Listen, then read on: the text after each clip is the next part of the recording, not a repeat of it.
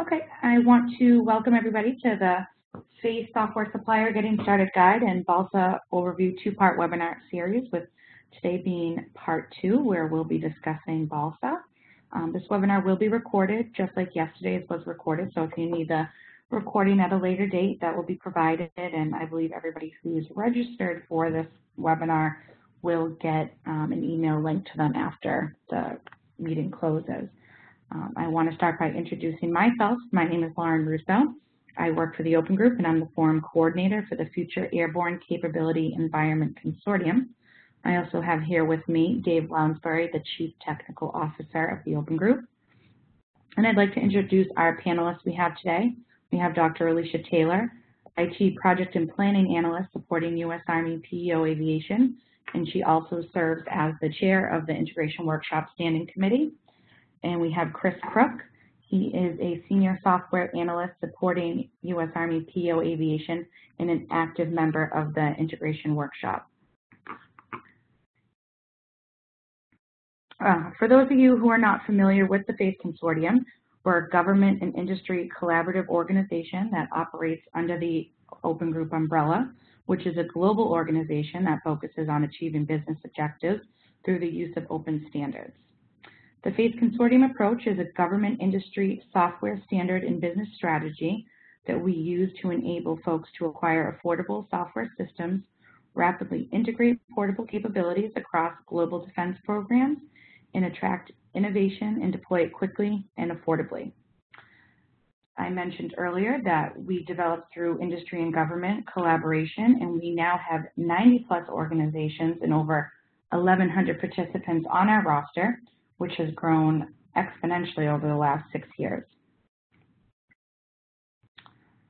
The benefits to the government for using open standard collaborative approach between industry and government is better buying power, you increase competition, achieve affordability, and control life cycle costs of the multiple programs for the various aircraft that are out there.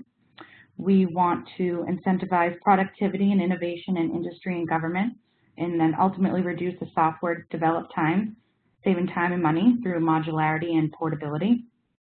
Also for cross-platform decision making, reuse is the primary use of the FACE approach, not investing multiple time for the same capability, and enabling integration of cross-program requirements.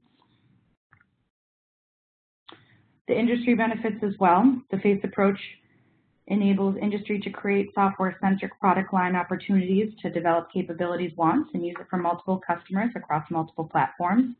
It also provides opportunity for software capability across multiple aircraft types which may have not been available before when they were supplying for one customer, it enables them to get into a market where multiple customers can benefit from the capability.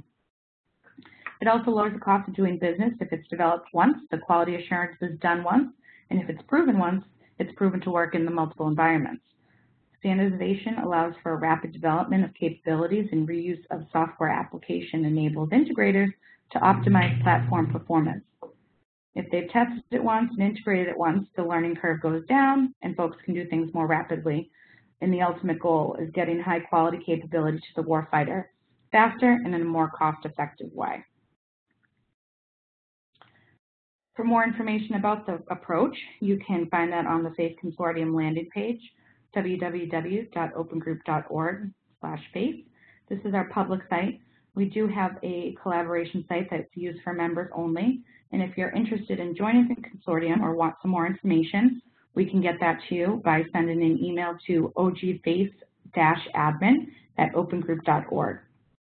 On the landing page, it will give you information on the current consortium activities, membership, published documents and tools that we use for developing the FACE software, recent procurements, and a link to the FACE registry, as well as how to navigate the conformance program.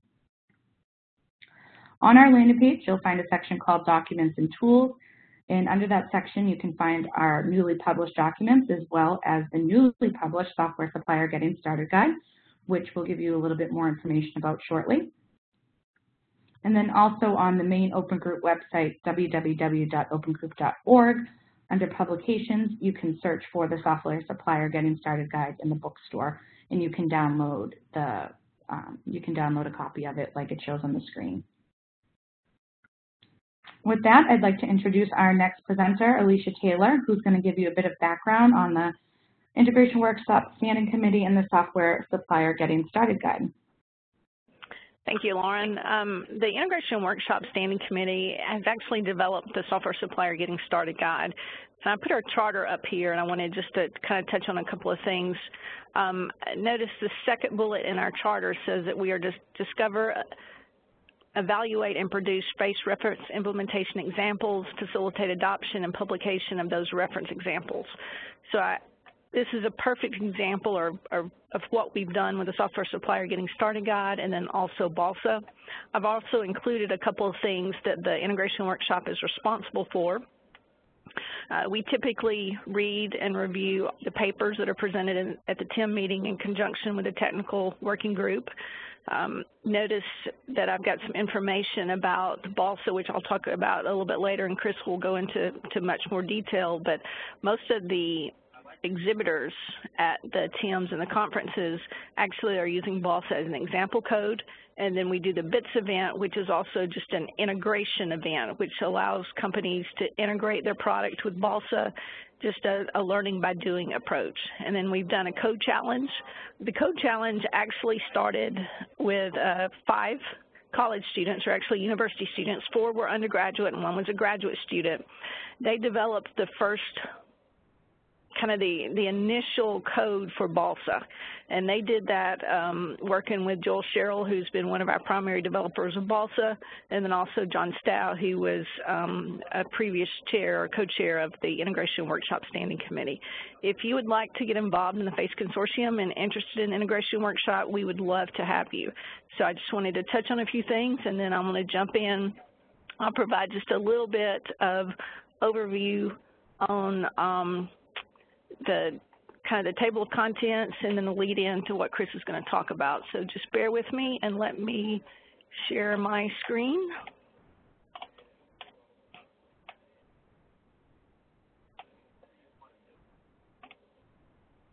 Okay, so looking at the table of contents, notice the software supplier getting started guide is relatively short, and I use that in terms of some of the other uh, FACE consortium documents. The idea behind it was to reference something. Um, if we can pull it down, show you a little bit of how to work it, that's what we want to do, and then kind of get you on to something else or have it reference additional documentation.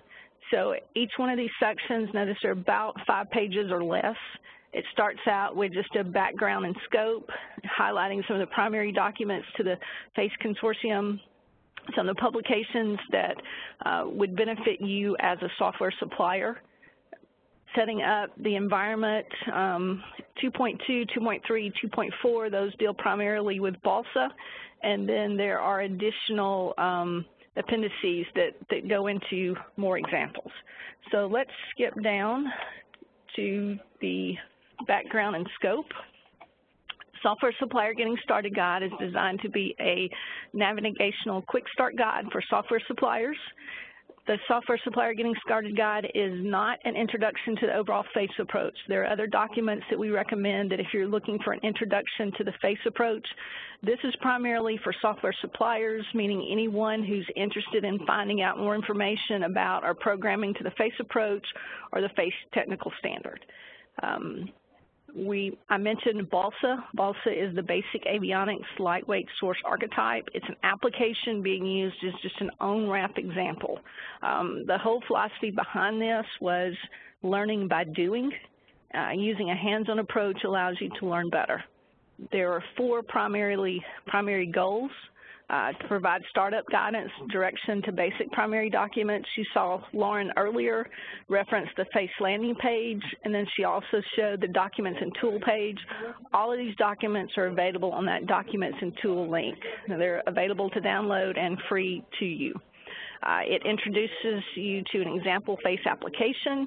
It provides the user to so software to increase your knowledge. Again, I mentioned learning by doing, and then it allows you to gain understanding of the basic verification process. Hopefully, if you're developing software, you want to take it through the, the VA and the CA. Uh, primary documents, uh, as I mentioned, Lauren referenced the, the main web page. Under that, you can do documents and tools. We recommend that you use the most current editions available unless you are contractually required to do otherwise. And I mentioned that you are able to download these. However, uh, you will need to sign up with basic information and name and a valid email address. The FACE technical standard is basically our keystone document. Um, and with each technical standard, we have a corresponding RIG, shared data model, data model governance plan, conformance matrix verification, and conformance test suite. Uh, just a quick information, the, the RIG or the reference implementation guide supports the technical standard. It presents best practices. It also provides implementation scenarios. In other words, it provides you more of a, a guide on how to do some things with a lot more information conformance publication documents. Uh, it's very important that we have the business aspect, the technical aspect, but we also want to make sure that software is conformant with the FACE technical standard. You do that by testing uh, through the conformance test suite, and then um, there's basic information there as well. Uh, so with that, if there's, oh, and I want to point out that it's very important if you're running the conformance test suite, you want to run it from the very beginning on, and then you also want to make sure that the conformance test suite aligns with the same uh, FACE technical standard that you're working with. Third-party website or third-party tools are available on the FACE website as well. Those are just vendor-provided products that are available, and they have not been through or vetted through the open group for the FACE Consortium. So just wanted to point that out. If you were on the website or if you were on the uh, WebEx yesterday, we also um, looked a lot more in depth at this PRCR process. We looked at a little bit at data modeling, but uh, Stephen Simi from uh, TS Savvy actually pulled up a conformance test suite, ran a data model through there to show that it was uh, that it did conform. Or, so any additional questions before I turn it over to Chris to talk a little bit more about or talk more about Chapter 2 and BALSA? Okay. Then if not, Chris, I will pass the ball to you. Thank you.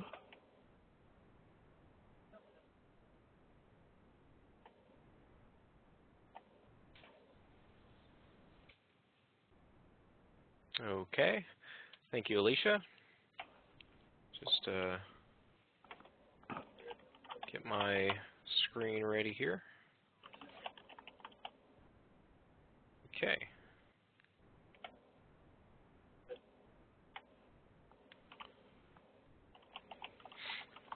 All right, so good afternoon, everyone. To, today I'll be uh, going through the uh, BALSA overview, which uh, is summarized in the uh, the chapter that Alicia left left off on in the Software Supplier Getting Started Guide.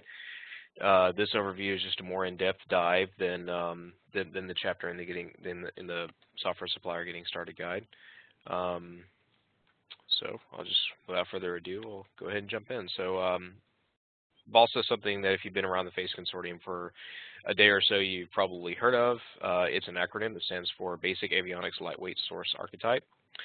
Um, it serves as a working example of a implemented FACE architecture, um, which includes uh, back-end um, implementations of a transport service segment, an input-outputs um, service segment, and a partially implemented OSS. Um, it also includes a PCS and four PSSS applications that run within it. And by right now, what is known as BALSA, the, the name includes the reference implementation and those um, five applications.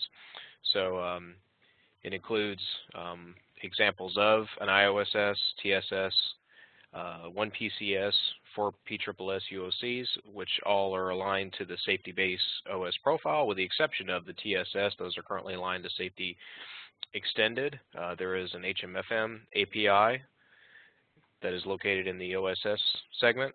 Uh, and there's also a early adaptation of the um, 3.0 aligned configuration API uh, which since it's everything in Balsa right now is aligned to 2.1, it's just treated as a custom API. But it was a way for us to kind of get start like get started and see and kind of realize what uh, one aspect of what was soon to be 3.0. Um, for the um, operating system segment, we uh, assume the uh, POSIX API. And uh, for our applications that actually run in the reference arch architecture, we base it off of um, ADSB as a real-world open example of a small uh, avionics process that would effectively demonstrate all face segments. The goals of BALSA, the primary one, is just to kind of get get people in, involved in face and kind of serve as something that, that technical people could put their hands on and really see how the FACE technical standard can be realized. It's not a end-all be-all of a FACE reference architecture. It is merely an example of what you could do. And for a lot of people, myself included, um, it, it, it's when you really start connecting the dots, when you can actually put your hands on a piece of code and um, see a realization of a TSS and IOSS and say, oh, I see what they did there, okay. Um, and then see how the APIs are an example of how the APIs are meant to be realized. Uh, one of the secondary goals is to provide a uh, trading pattern, uh, pattern and a code base that we can use for um, advancing the technical standard. Um, the 2.1 aligned BALSA served as uh, area of back for the technical standard. We uh, followed a great number of CRs um, to, to, the technical standard by basically just you know going through BALSA, creating it, and adding capabilities to it. Uh, secondary goal is also just to provide uh, vendors um, an example that they can use to integrate their own components. That basically, you know, say you have a vendor that is going to create a PCS and they need a TSS to test with it. Um, this is a great way for them to have a baseline that they can use for that way they don't have to go out on their own. Um, and Balsa is a really good tool for that. I know of a few companies that uh, are using pieces of Balsa in that aspect already. So it's just a baseline out there for people to use. Uh, target audience, uh, primarily face application developers, uh, but also um, consortium members and working groups evaluating potential changes is a good way for, like, say, the transport service uh, segment uh, subcommittee can advance it and um, use it to test out possible changes in future versions of the uh, the technical standard, just as an example. Um, those evaluating integrating FACE in other standard environments, and for vendors to use as a baseline architecture for demonstrations. A lot of uh, vendors use BALSA as their architecture when they demonstrate things at the um, the technical interchange meetings um, and things of that nature. So what BALSA does, um, once again, is a simple version of a basic avionics process.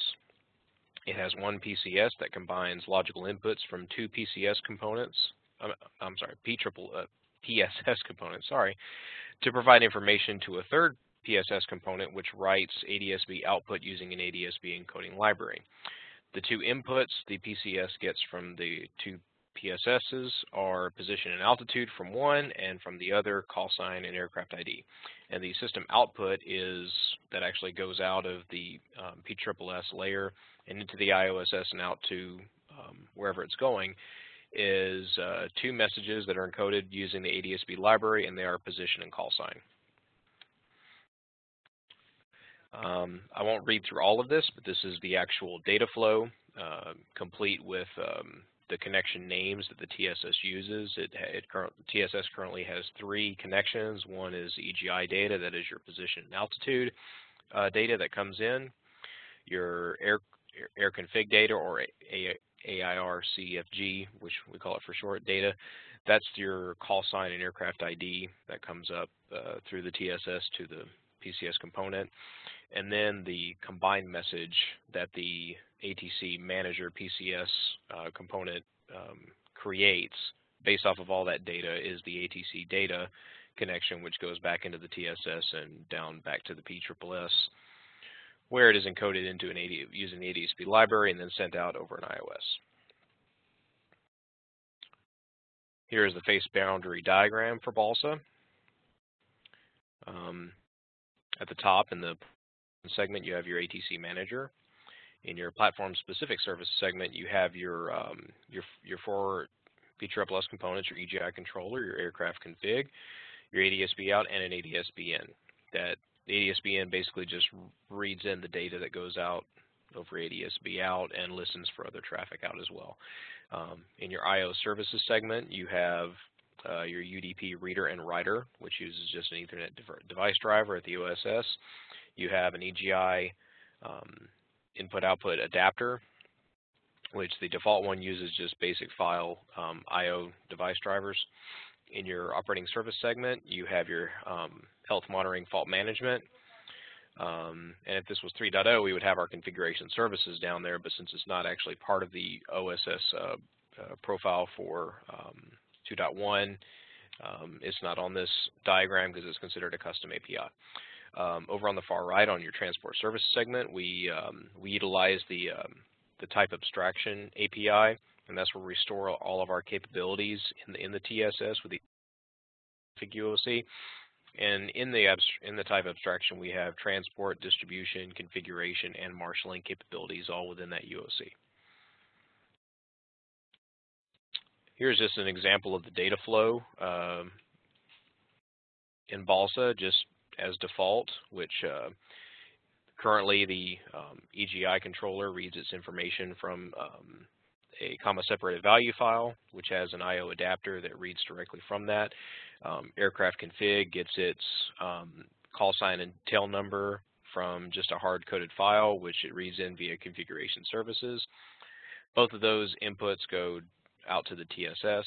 Uh, ATC Manager receives those from the TSS, creates its new uh, message, uh, sends that back out to the TSS. ADSB out receives that message, encodes it um, ADSB call sign and position message and sends those out using the UDP writer instance. Uh, Ethernet device driver sends it out. UDP uh, reader at the IOSS receives in that data, and the ADSB in listens for any ADSB messages that are received. Okay, Balsa EGI details. Now what this basically means is uh, the way we designed the EGI, and this is just another example of um, uh, separation of concerns in FACE. Um, we tried to leave the EGI controller and the PSSS as agnostic as it can be as, as far as how it gets its data.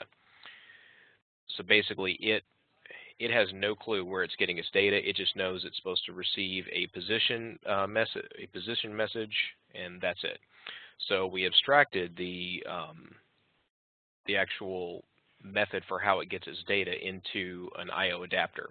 And right now we have, um, as default, just an I.O. adapter that reads from a comma separated value file.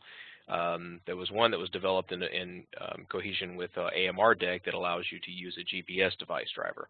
And really all you need to do is if you bring in your own device driver, I'm sorry, not device driver, uh, I.O. adapter for the EGI to use. All you need to do is just recompile with that particular I.O. adapter and it's ready to go. You don't ha actually have to touch the EGI whatsoever. Uh, there's also, um, as an optional I.O. adapter, um, there's one that allows you to receive position message uh, position mes message from a disk stream. So that's in the, uh, the source dis distribution as well current BALSA status. Is currently designed using Shared Data Model version 2.1.34, which has been through PAO approval, um, and it's aligned to Tech, tech Standard 2.1.1. Uh, the UOP supplied model does pass the conformance test suite. There are artifacts available for the ATC Manager PCS component. Those are complete. We sent them to the VA, and we're having to make some modifications, and we're currently awaiting sending those back. Um, and that's about it for that. All 2.1 UOCs currently pass the conformance test suite. Um, here's pretty much the details on all of that. The HMFM we have never tested because it's an OSS provide, provided API, and the configuration services is a capability that's soon that's going to be realized in version 3.0 of the tech standard. So there's not a method to test for it as of right now. And once again, it's considered an OSS provider. But um, as you can see, um, all except the the TSS are aligned to safety base.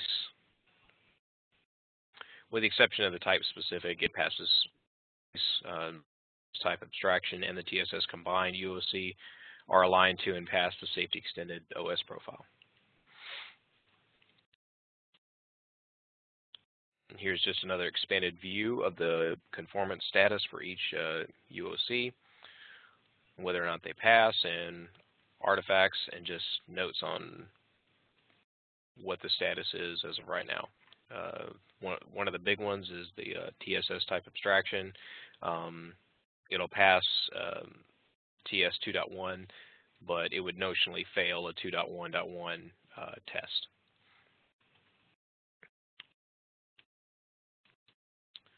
Just some expanded views on some of the components before I actually run the um, program itself.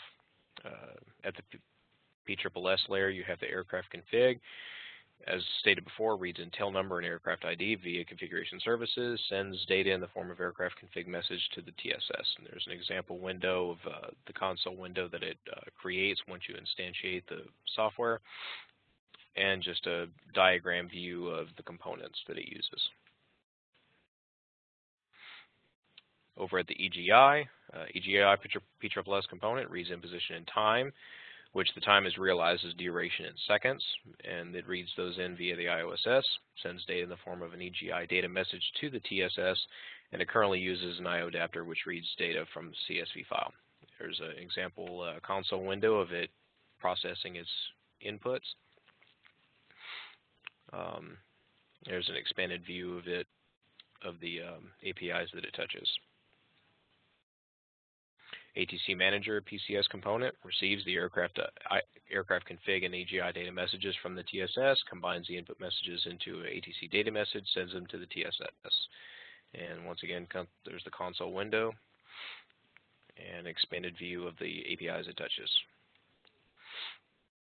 ADSB out PSSS, that's the one that receives the ATC data message from the TSS and encodes data received um, an ADSB call sign and position message using an ADSB library, and it sends ADSB messages to the IOSS, which in turn sends those out in its manner.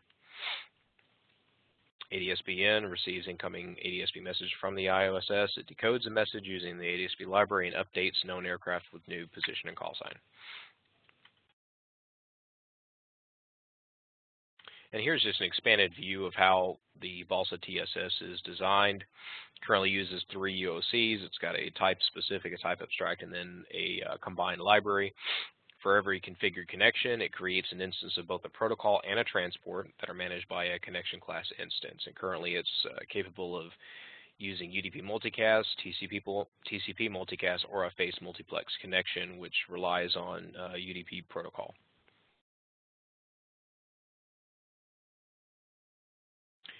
Here's an expanded view of the IOSS design for Balsa. It's built into a single US UOC that uses UDP multicast to read and write, and additional I.O. transports can be added with minimal impact to existing UOC, and the EGI uses an application-specific layer, uh, meaning that the EGI um, I.O. adapter is compiled separately. That's considered uh, Balsa specific and not a part of the reference architecture, if that makes sense. Uh, and also, the way that we um, designed the IOSS and the TSS, we designed it to where it can be easily added on to. So you can add on your own um, uh, connection types, like for instance, in let me back up to transport service, you can add your own um, transport or protocol classes without actually having to touch anything else. And the same goes for the IOSS. You can add your own capabilities without impacting the rest of it. Here's just a breakout view of the file structure for Balsa. Pretty much anything that's Balsa specific. Um, and what I mean by that is PCS, PSSS components, um, your um, data structures, your um, for the EGI, it's I.O. adapter, pretty much anything that's specific to applications that will function in the reference architecture are located in the Balsa subdirectory. That way they're completely separate from all the reference uh, reference architecture backend services. Those are in a face subdirectory, which you can see has configuration HMFM, IOSS, TSS, and then there's a helpers API, which helps um, the applications use certain services. And then there's the uh, ADSB encoding and decoding library that's listed separate. So basically, the three of these are three separate entities. You have your BALSA applications and application-specific code. You have your reference architecture um, directories, and you have your ADSB library. Uh, compiling and running BALSA. BALSA was designed to basically run on a Unix-like environment. Currently, will operate on uh, Red Hat, CentOS uh, 6 and 7, Raspbian, and Ubuntu.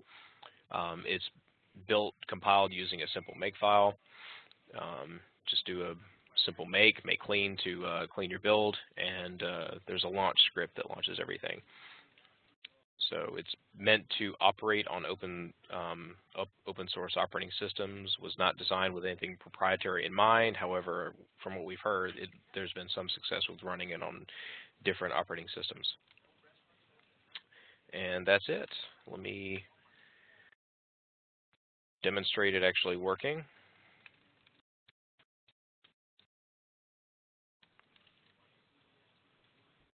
Okay. Here is your ATC manager receiving its two, two inputs. Here's your aircraft ID, which is once again reads reads in its its information via configuration services. There's nothing for it to scroll through because it just reads it in once. Um, there's your ADSB out, your ADSB in, and your AGI that is sending to your ATC manager. One main uh, feature that usually people notice is if, if, you notice the altitude for ADSB in and, and out are it's they are seemingly rounded. That is a just a limitation of the ADSB uh, library and the ADSB um, standard. Um, it's specific to I think 25 feet, which is why it looks rounded to every 25 feet. But that's it, and just to stop it, just return, and that's it.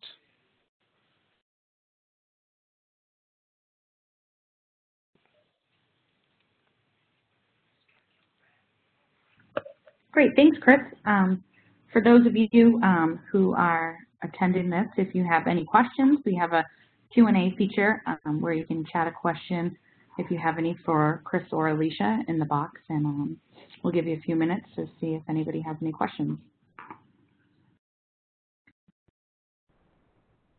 Chris, what um, information is available um, related to BALSA if, if I'm someone new trying to get everything up and going?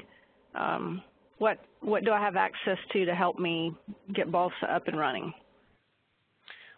Well, there is a, a very detailed README file that goes through um, setting up BALSA, um, running it, and also setting up a conformance test suite um, build to test to test BALSA with and how to compile for conformance versus uh, compiling for operation. There's also a BALSA guide that is available uh, to the consortium and it's on the uh, BITS uh, Plato website, and it's got it has detailed all the way down to the individual files in in Balsa in, in, the reference architecture builds all the way down to what each file does. So it's detailed on how it's not only designed but built and how it runs. Okay, I see a couple of questions coming in. Um, Mark wants to know, does the Balsa example require a Corba tools to build? No. No, it does not. And uh, Phil wants to know when and where can we get these updated slides? Um, I can post these to the BITS website. Uh, this is just my, uh, the slides I showed was just my personal copy. Um, but there should be an updated slide deck on the BITS Plato website. If not, I can just post the ones that I did for this webinar to there. And just to follow up as well, everybody who did attend this session will get an email link to this recording, so you can go back that way as well, but they can be posted to the uh, FACE Consortium Plato site. And Chris, while other people are creating questions, I noticed on the call yesterday um, there was some questions about BALSA migrating to Tech Standard 3.0. I know that it's currently aligned with uh, Tech Standard 2.1, can you kind of talk about the plans to align BALSA with 3.0? Good question. Um, as of right now, we are doing a very minimal 3.0 implementation using, um, we've, we've taken the HMFM and done a 3.0 realignment of that. We're working on configuration service right now, and all this is basically to uh, reinforce uh, testing out 3.0 and the, new IDL bindings. Um, currently, we've built uh, the new support classes aligned to the 3.0 tech standard and checked those out um, in the future to, at a minimum, grade over the TSS, probably the IOSS, and create a new uh, U, a PCS and PSSS instance design. Uh, when and how long that will take to implement, at this time I do not know.